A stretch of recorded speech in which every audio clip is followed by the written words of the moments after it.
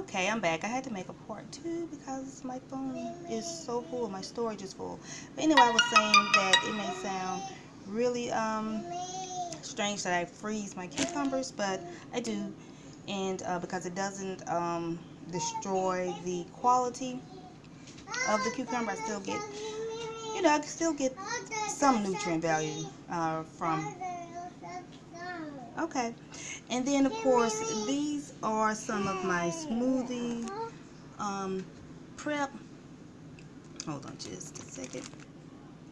Okay, so just, I'm going to make wrap this up. So, and then, of course, um, most of the time I, I, um, mix my, um, see my coffee. Yeah, I love that coffee. Creamer, creamer for me. but anyway, so my um,